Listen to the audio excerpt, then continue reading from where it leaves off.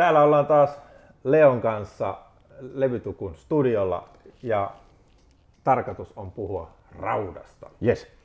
Ja ideana näillä videoilla on äh, käydä läpi tämmöisiä erilaisten telineiden ja klämppien, ei pelkästään käyttötarkoituksia, mutta ominaisuuksia, koska mä tiedän niistä, että niiden, niitä joku on miettinyt tarkkaan, mutta ne helposti menee ohi pelkkien tuotekuvien äh, kautta. Ja tällä kertaa Leo, sä nimenomaan halusit puhua tästä, mikä se on. No, palattiin jälleen haitsuaiheeseen, Joo, koska se on mulle semmonen tärkeä juttu. Joo. Eli nyt meillä on tämmönen niin sanottu AUX-haitsu tai X-hat, kakkoshaitsu.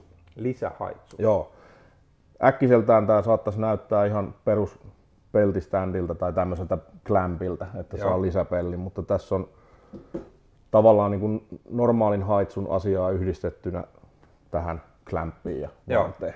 Ja sehän tulee kiinni tämmöisellä, nämä on näitä Taman eri, erinomaisia klämppejä, mikä lähtee tosta noin vaan yhdellä kädellä. Joo, se on nopea. Se on todella helppo ja säätyy monenlaiselle putkelle.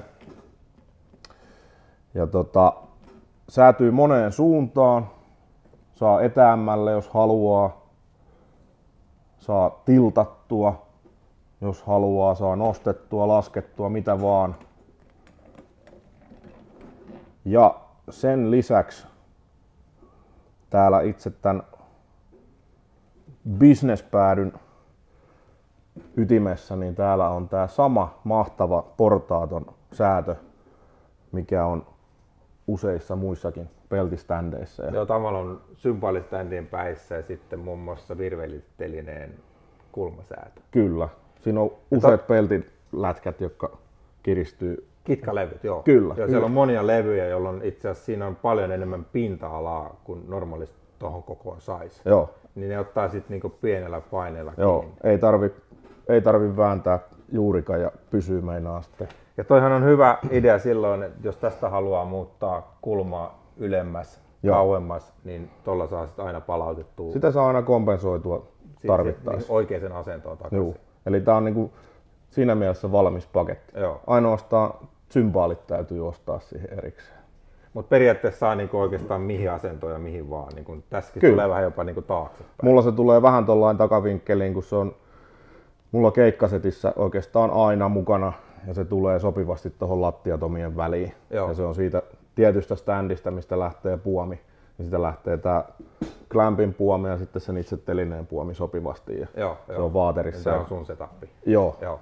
Tää teline nyt on, on rekvisiittaa. Mutta Joo. Tämä Extra Haitsu on meille aika tuttu asia, koska se on erittäin suosittu metallimusiikissa. Yleisesti jos on tuplapedaalit käytössä, niin no, monesti menee Suomessa vielä niin kuin metalliin ja äärimetalliin ja niissä piireissä niin kuin tuplahaito, tämä extra haitsu on hirveän suosittu, mutta sulla on tähän muutakin näkemyksiä. Joo, itsehän soitan paljon tuplapedaalilla, mutta metalli tai semmonen musa ei ole se mun pääjuttu. Joo, Ja tämähän on siinä mielessä hyvä, että jos haluaa kontrolloida sitä ykköshaitsua kivasti, että pellit on sopivasti etäällä, että se Joo. polkeminen on hyvä ja sitten saa sieltä eri sävyjä, niin se ei ole paras mahdollinen taas siihen niin kuin tuplasoittoon. Että se on joko liian auki tai sitten jos käyttää semmoista drop clutchia, Joo. niin sitten se vaan lässähtää siihen päälle ja on semmoinen vähän niin kuin suljettu sohjonen.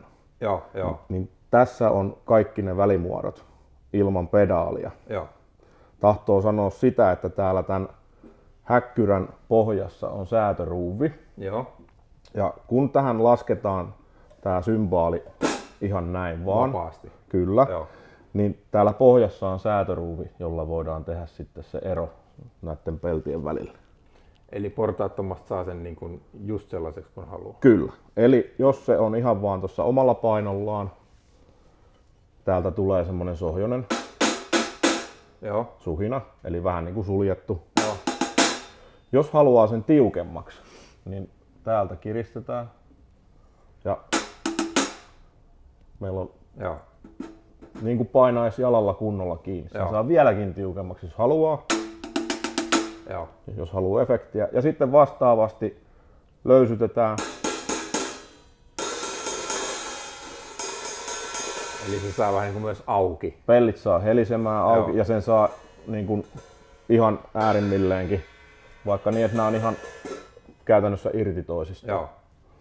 Plus sitten, että siinä on hiukan säätövaraa, jos on, jos on tota korkeampi profiiliset pellit tai matalammat, niin sitten tällä voi vähän kompensoida, kun laittaa sitä peltiä tuohon kiinni. Aivan. Ja koko tämä häkkyrä toimii niin, että tässä on ihan normaali paksunen haitsun tikku Joo. ja sitten siinä on normaali haitsun pidike, Joo. klatsi. Tämä mun malli on hiukan vanhempi Joo. ja siinä on tämä Taman tämmönen vanhempi, vanhempi vekotin, joka edelleen puristaa näppärästi. Niin se on sellainen silmä. Joo, se menee Joo. ton tikun ympärille ja Joo. kiristyy siihen, ei me suoraan tikkuun.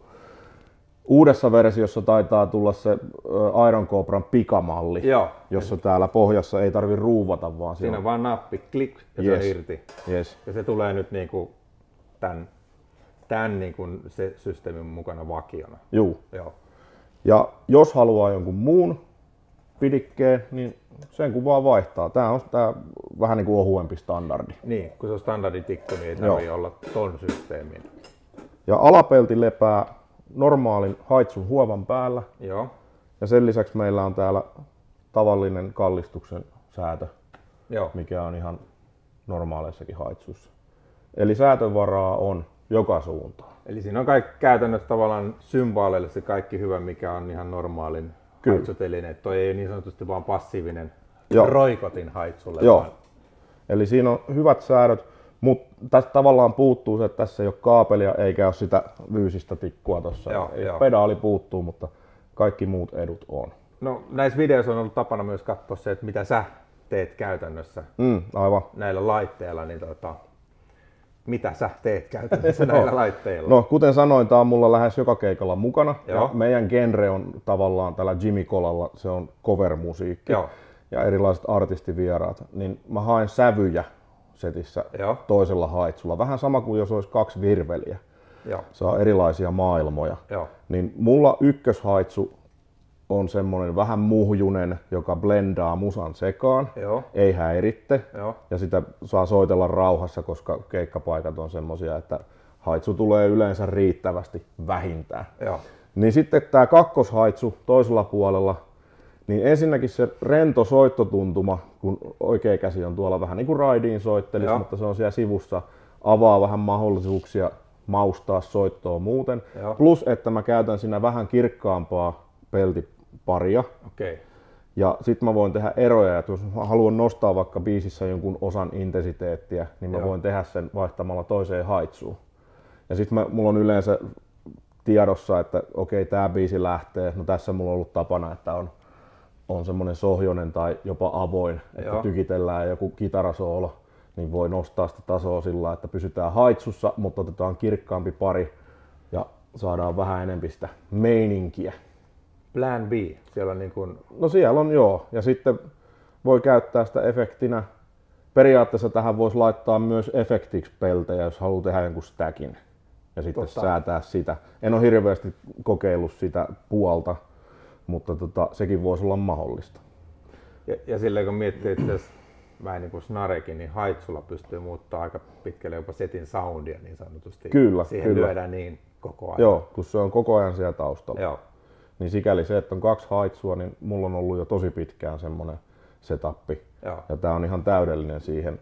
On, on myös kokeillut niinku kaapelihaitsujuttuja, Joo. mutta siinä on vähän se, että sitten on tavallaan siinä pedaalissa kiinni, jos haluaa tehdä niitä juttuja. Tässä on se, että jos saatan tiettyyn kireyteen, niin sitten voi polkea toista pedaalia, vähän niin kuin polkis haitsua raidin taustalla. Joo. No tämmöisiä kaikkia aspekteja. Sillä saa monipuolisuutta. Ja se mitä ei monesti ajatella, itse asiassa, niin, että cover-soittaminen tietyllä tavalla niin kuin soundien kannalta, se on kaikkein vaativin. No tavallaan joo. Siinä hypitään niin kuin ihan asiasta toiseen. Niin, varsinkin jos genret vaihtuu paljon, niin, Joo, joo. niin semmoista.